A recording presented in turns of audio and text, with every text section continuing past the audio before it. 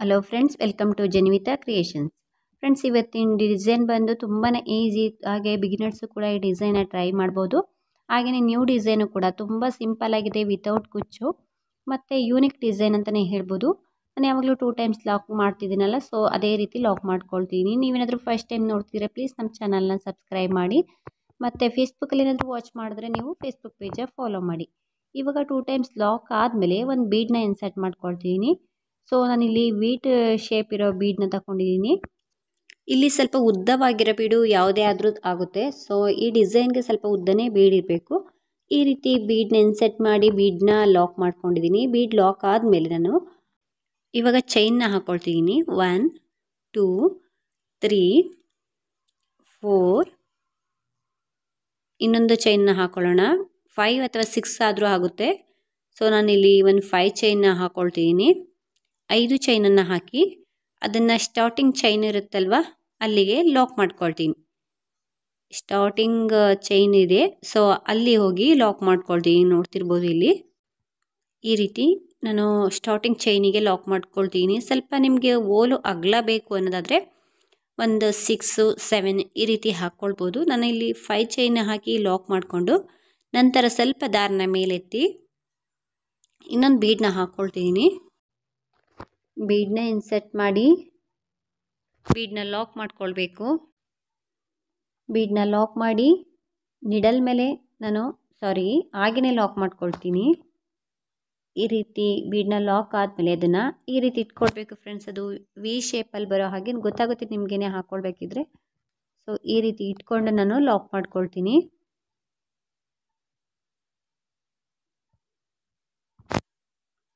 Lock ಮಾಡಿ ನಂತರ ನಾವು ಲೇಸಿಗೆ ಸಿಂಗಲ್ ಕ್ರೋಶನ ಮಾಡ್ಕೊಳ್ಬೇಕು. ಈ ರೀತಿ ಕಾಣಿಸುತ್ತೆ.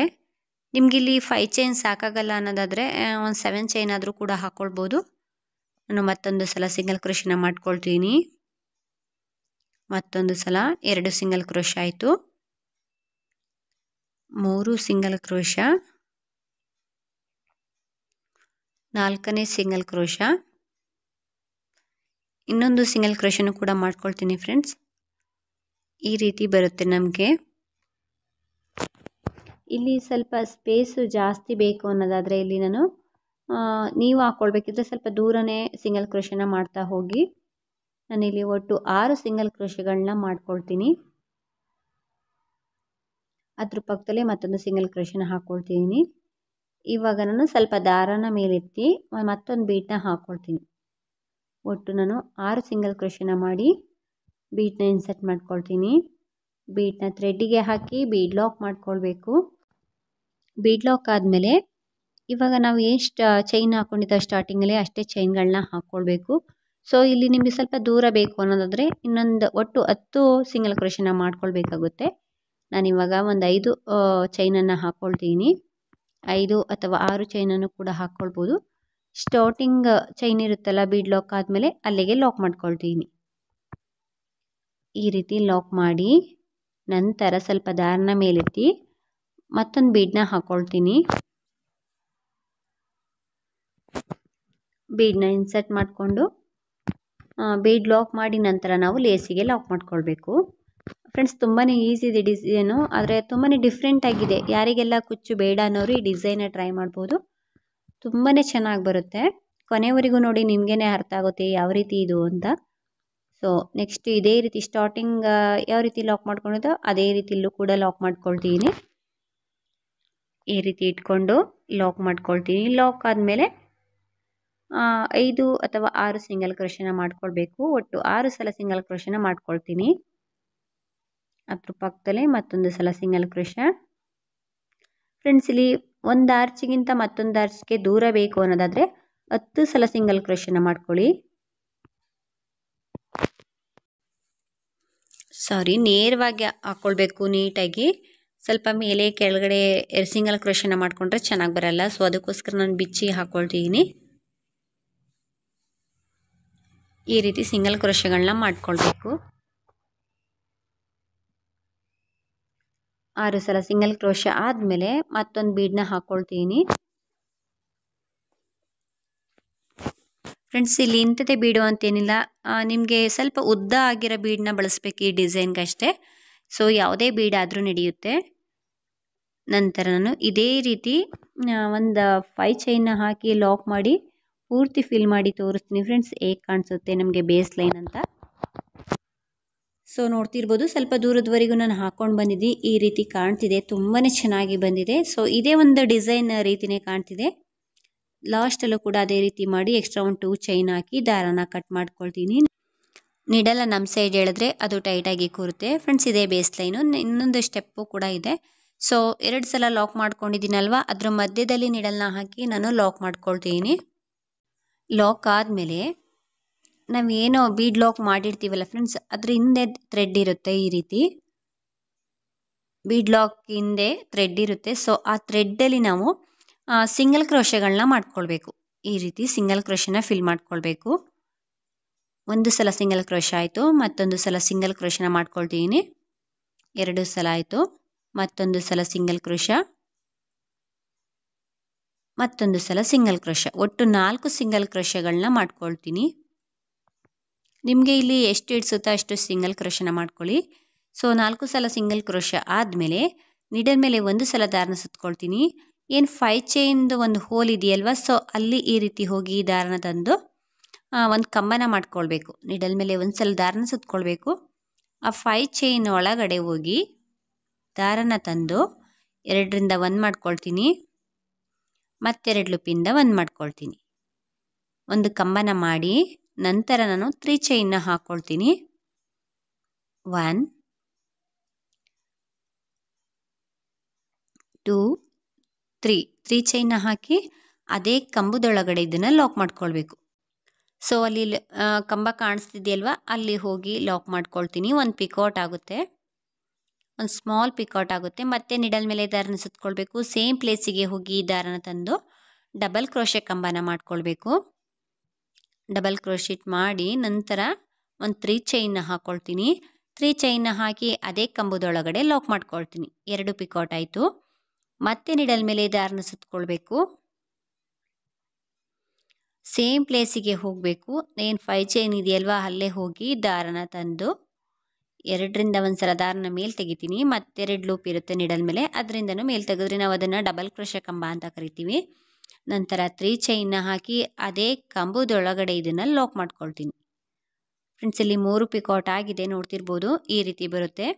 ನಿಮಗೆ ಇಲ್ಲಿ ಪಿಕೌಟ್ಗಳು ಜಾಸ್ತಿ ಬೇಕು ಅನ್ನೋದಾದರೆ ಬೇಸ್ ಲೈನಲ್ಲಿ ಫೈ ಚೈನ್ ಹಾಕ್ಕೊಳ್ತೀವಲ್ಲ ಸೊ ಅಲ್ಲಿ ಒಂದು ಸಿಕ್ಸು ಸೆವೆನ್ ಈ ರೀತಿ ಹಾಕ್ಕೊಂಡ್ರೆ ಚೆನ್ನಾಗಿ ಬರುತ್ತೆ. ಸೊ ನಾನು ಫೈ ಚೈನ್ ಹಾಕಿದ್ದೀನಿ. ಅದಕ್ಕೆ ಯಾವ ರೀತಿ ಬರುತ್ತೆ ಅಂತ ನೋಡೋಣ. ನಾಲ್ಕು ಪಿಕೌಟ್ ಆಗಿದೆ. ಮತ್ತೆ ನಿಡಲ್ ಮೇಲೆ ದಾರನ ಸುತ್ಕೊಳ್ತೀನಿ. ಸೊ ಸೇಮ್ ಪ್ಲೇಸಿಗೆ ಹೋಗಿ ದಾರನ ತರಬೇಕು, ಕಂಬನ ಮಾಡಬೇಕು. ಕಂಬ ಆದಮೇಲೆ ತ್ರೀ ಚೈನ ಮಾಡಿ, ಅದೇ ಕಂಬದೊಳಗಡೆ ಪಿಕೌಟ್ನ ಮಾಡ್ಕೊಳ್ಬೇಕು. ಫ್ರೆಂಡ್ಸ್ ಇಲ್ಲಿ ಪಿಕೌಟೇ ಬೇಕು ಅಂತ ಏನಿಲ್ಲ. ನೀವು ಮಾಮೂಲಿ ನಾರ್ಮಲ್ ಕಂಬಗಳನ್ನ ಮಾಡಿ ಬೀಡ್ನು ಕೂಡ ಇನ್ಸರ್ಟ್ ಮಾಡ್ಕೊಳ್ಬೋದು. ಐದು ಕಂಬ ಆಗಿದೆ. ಇನ್ನೊಂದು ಪಿಕೌಟ್ನು ಕೂಡ ಮಾಡ್ಕೊಳ್ತೀನಿ. ಇನ್ನೊಂದು ಪಿಕೌಟ್ಗೂ ಕೂಡ ಜಾಗ ಇದೆ. ಸೊ ಇನ್ನೊಂದು ಕಂಬನ ಮಾಡಿ ಇನ್ನೊಂದು ಪಿಕೌಟ್ನ ಮಾಡ್ಕೊಳ್ತೀನಿ. ಸ್ಟಾರ್ಟಿಂಗ್ ಆರ್ಚಲ್ಲಿ ನಮಗೆ ಎಷ್ಟು ಪಿಕೌಟ್ಗಳು ಬರುತ್ತೆ, ಅಷ್ಟೇ ಪಿಕೌಟ್ ಪ್ರತಿಯೊಂದು ಆರ್ಚ್ಗೂ ಕಂಪ್ಲೀಟ್ ಮಾಡ್ಕೊಳ್ತಾ ಹೋಗಬೇಕು.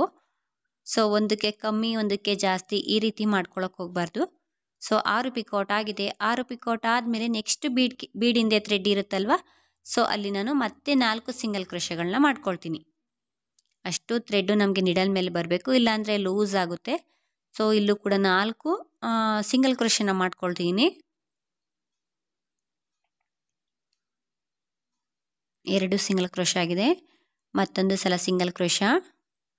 ಮತ್ತೊಂದು ಸಲ ಸಿಂಗಲ್ ಕ್ರೋಶ. ನಾಲ್ಕು ಸಿಂಗಲ್ ಕ್ರೋಶನ ಮಾಡಿ ಲಾಕ್ ಇರೋ ಕಡೆ ಮೇಲೆ ಲಾಕ್ ಕಾಣಿಸ್ತಿದೆಯಲ್ವ ಬೇಸ್ ಲೈನಲ್ಲಿ ಸೊ, ಅಲ್ಲಿ ಲಾಕ್ ಮಾಡ್ಕೊಳ್ತೀನಿ. ಈ ರೀತಿ ಲಾಕ್ ಆದಮೇಲೆ ನೆಕ್ಸ್ಟು ಸಿಂಗಲ್ ಕ್ರೋಶಗಳಿದೆಯಲ್ವ? ಸೊ, ಅಲ್ಲೆಲ್ಲ ಮತ್ತೆ ಸಿಂಗಲ್ ಕ್ರೋಶನ ಮಾಡ್ಕೊಳ್ಬೇಕು. ಸಿಂಗಲ್ ಕ್ರೋಶಗಳು ಇರೋ ಕಡೆ ಸಿಂಗಲ್ ಕ್ರೋಶ.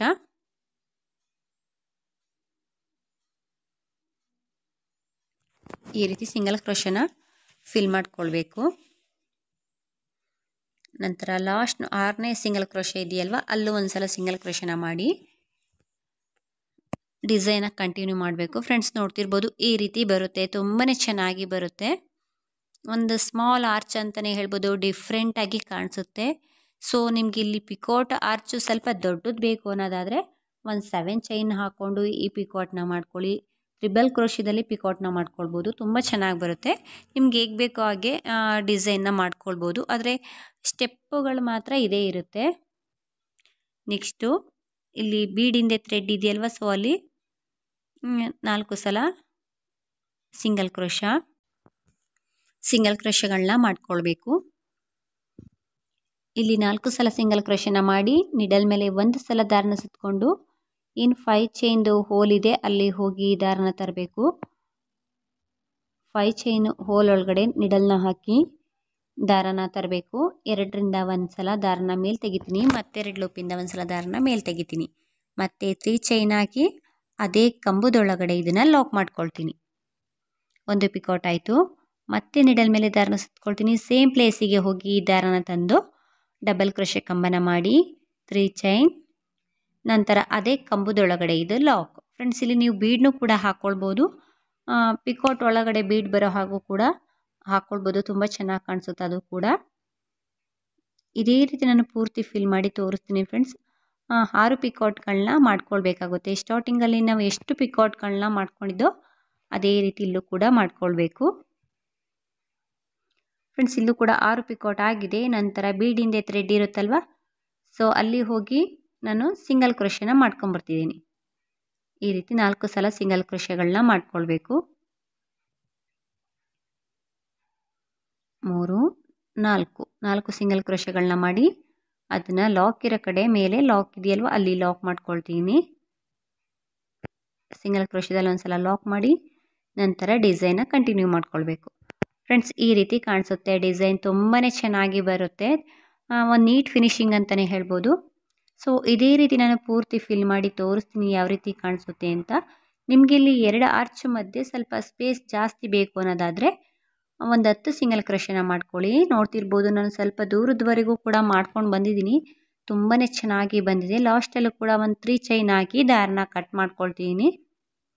ಫ್ರೆಂಡ್ಸ್ ಡಿಸೈನ್ ಈ ರೀತಿ ಫಾರ್ಮ್ ಆಗಿದೆ. ನೋಡ್ತಿರ್ಬೋದು. ತುಂಬಾ ಚೆನ್ನಾಗಿ ಬಂದಿದೆ. ಸೊ ಇಲ್ಲಿ ಪಿಕೋಟ್ ಒಳಗಡೆ ಬೀಡ್ನು ಕೂಡ ಇನ್ಸರ್ಟ್ ಮಾಡ್ಕೊಳ್ಬೋದು. ತುಂಬ ಚೆನ್ನಾಗಿ ಕಾಣಿಸುತ್ತೆ. ಒಂದು ಆರ್ಚ್ಗಿಂತ ಮತ್ತೊಂದು ಆರ್ಚ್ಗೆ ಸ್ವಲ್ಪ ಜಾಗ ಜಾಸ್ತಿ ಬೇಕು ಅನ್ನೋದಾದರೆ ಒಂದು ಹತ್ತು ಸಿಂಗಲ್ ಕ್ರಷನ ಮಾಡಿ ಇಲ್ಲಿ ನಂತರ ಡಿಸೈನ ಕಂಟಿನ್ಯೂ ಮಾಡ್ಕೊಳ್ಬೇಕು. ಫ್ರೆಂಡ್ಸ್ ತುಂಬ ಚೆನ್ನಾಗಿ ಬರುತ್ತೆ. ನೀವು ಒಮ್ಮೆ ಟ್ರೈ ಮಾಡಿ ನೋಡ್ತಿರ್ಬೋದು. ತುಂಬ ಗ್ರ್ಯಾಂಡ್ ಲುಕ್ ಆಗಿ ಕಾಣಿಸ್ತದೆ. ಇದಕ್ಕೆ ನಕ್ಕಿಗಳನ್ನು ಕೂಡ ಅಂಟಿಸಿದ್ದೀನಿ ತುಂಬಾ ಚೆನ್ನಾಗಿ ಬಂದಿದೆ. ನೋಡ್ತಿರ್ಬೋದು. ತುಂಬ ಬ್ರೈಡಲ್ ಡಿಸೈನ್ ಅಂತಲೇ ಹೇಳ್ಬೋದು. ಇದಕ್ಕೆ ಪ್ರೈಸ್ ಬಂದು ಒಂದು ಫೈವ್ ಹಂಡ್ರೆಡ್ವರೆಗೂ ಚಾರ್ಜ್ ಮಾಡ್ಕೊಳ್ಬೋದು. ನಿಮ್ಮ ಪ್ಲೇಸ್ ಮೇಲೆ ಡಿಪೆಂಡ್ ಆಗಿರುತ್ತೆ. ಕಮ್ಮಿನೂ ಕೂಡ ಮಾಡ್ಕೊಳ್ಬೋದು ಅಥವಾ ಜಾಸ್ತಿನೂ ಕೂಡ ಮಾಡ್ಕೊಳ್ಬೋದು. ಫ್ರೆಂಡ್ಸ್ ಈ ವಿಡಿಯೋ ಇಷ್ಟ ಆಗಿದೆ ಅಂದ್ಕೊಳ್ತೀನಿ ಇವು ಇಷ್ಟ ಆದರೆ ಲೈಕ್ ಮಾಡಿ ಶೇರ್ ಮಾಡಿ ಕಮೆಂಟ್ಸ್ ಮಾಡಿ. ನೀವೇನಾದರೂ ಫಸ್ಟ್ ಟೈಮ್ ನೋಡ್ತಿದ್ರೆ ಪ್ಲೀಸ್ ನಮ್ಮ ಚಾನಲ್ನ ಸಬ್ಸ್ಕ್ರೈಬ್ ಮಾಡಿ.